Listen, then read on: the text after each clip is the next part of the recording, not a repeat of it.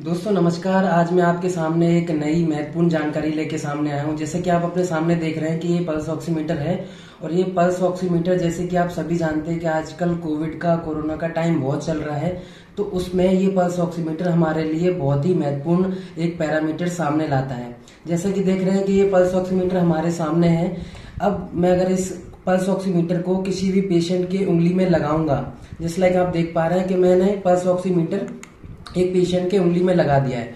तो इसमें आप जस्ट लाइक देख पा रहे हैं कुछ चीज़ें रहती हैं। पहली तो ये है कि टू आपको दिख रहा होगा।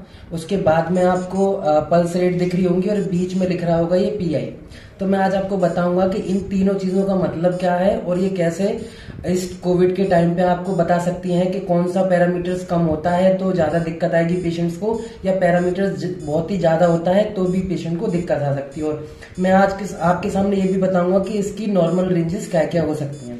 जैसे कि आप आपके सामने देख रहे हैं इसका जो एसपीओ है इस पेशेंट का 98 है। अब टू क्या है? और उसके सामने लिखा है जैसे कि परसेंटेज अब टू हमेशा परसेंटेज में होता है। टू का मतलब है सेचुरेशन अब सेचुरेशन जो आपकी बॉडी में कितना ऑक्सीजन है, उसका लेवल बताती है। जिस लाइक इस पेशेंट का सेचुरेशन बता रही है 98 तो अब इसकी बॉडी में 98 परसेंट सेचुरेशन है। उसके बाद में सेचुरेशन की बात अगर करें तो कोविड के टाइम पे अगर इसका सेचुरेशन 95 से बिलो होता है तो पेशेंट को दिक्कत होती है सांस लेने में। यही चीज़ मैं जानकारी आपको इसलिए बता रहा हूँ क्योंकि कोविड के पेशेंट्स की 95 से हमेशा नीचे आएगी। तो आप ये पहचान सकते हैं कि ये कोविड का पेशेंट के थोड़े साइन एंड सिम्टम्स है या फिर कोई लक्षण इसमें है क्योंकि इसको सांस लेने की दिक्कत हो रही है। अगर ये 90 से नीचे जाता है तो एकदम आपको हॉस्पिटलाइजेशन अपने पेशेंट को करने की ज़रूरत पड़ सकती है। इसलिए आप सभी लोग पल्स ऑक्सीमीटर के बारे में जान लें और सभी लोग अपने घर में ये चीज़, जिस जिस, जिसको कोविड के पेशेंट्स उनके पास में, वो चीज़ अपने घर में ये चीज़ रख सकें। अब सेकंड थिंग आप देख पा रहे हैं कि राइट साइड में है, ये पी आर बीपीएम लिख रहा होगा। इसका क्या मतलब है? इसका मतलब ये है कि पल्स रेट जो है आपकी ब्रीथ पर मिनट कितनी आ रही है। वैसे दोस्तों, मैं आपको ये बता दूँ कि नॉर्मल रेंज जो होती है, इसकी 60 से 90 तक की इसकी नॉर्मल रेंज होती है। अगर किसी पेशेंट की 60 से कम होती है पल्स रेट तो समझिए कि उस पेशेंट को दिक्कत है। अगर इसकी पल्स रेट अगर 100 से भी ऊपर गई या 90 से भी ऊपर गई तो भी पेशेंट को दिक्कत है। तो नॉर्मल रेंज जो इसकी होती है, वो 60 से 90 के बीच में होती है। अभी जैसे इस पेशेंट की rate ninety four breath per minute है तो ये नॉर्मल की ही रेंज में आता है। नाइन्टी के लगभग नॉर्मल ही माना जाता है।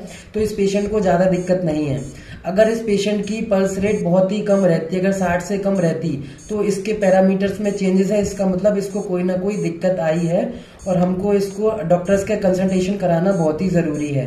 या फिर इस पेशेंट्स की हार्ट रेट या फिर ब्रीथ पर मिनट इसकी जो है वो हंड्रेड से ऊपर आती तो भी इस पेशेंट को दिक्कत है तो भी हमको डॉक्टर से सलाह लेने की ज़रूरत है, क्योंकि इसकी जो धड़कन है वो सौ से ऊपर जा रही है।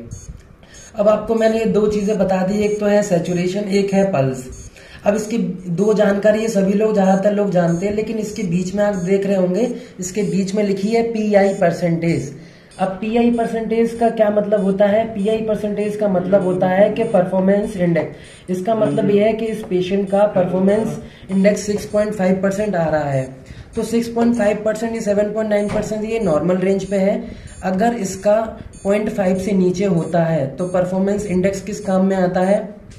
ये पल्स ऑक्सीमीटर ये आपको दर्शाता है कि परफॉर्मेंस इंडेक्स है वो आपकी हर जगह कितनी ऑक्सीजन ले जा पा रहा है आपकी हर नसों में कितनी नो ऑक्सीजन ले जा पा रहा है। अगर ये 8.2 है 20 तक भी होता 5 से 20 तक भी होता तो ये इसकी नॉर्मल रेंज यानी कि आपका पेशेंट जो है ऑक्सीजन अच्छी तरीके से ले पा रहा है। जस्ट लाइक like, इसीलिए मैंने आपको ये जानकारी दी है क्योंकि टू और पल्स रेट ये आपकी बहुत ज़रूरी है वो भी कोविड के टाइम पे। कोविड के टाइम पे भी आप पता लगा सकते हैं कि आपके अंदर कितनी सेचुरेशन परसेंटेज ऑक्सीजन आ रही है? अगर कम आ रही है तो जैसा कि मैंने अभी बताया था, आपको कम आ रही है 95 से कम तो आपको डॉक्टर से सलाह लेने की ज़रूरत है। अगर नॉर्मल आ रही है तो फिर कोई ज़रूरत नहीं है, आपका सेचुरेशन लेवल मेंटेन है। तो यही तीन पैरामीटर्स जो आपके बहुत ही महत्वपूर्ण है इस कोविड काल में इस कोविड टाइम में, जो कि आप पता लगा सकते हैं, जो कि मैंने आपको इस वीडियो में बता दी है। यही जानकारी बहुत महत्वपूर्ण है, जो कि आपको अपने दिमाग में रखनी है। इस वीडियो के माध्यम से मैं आपको पहुँचा रहा हूँ। शुक्रिया।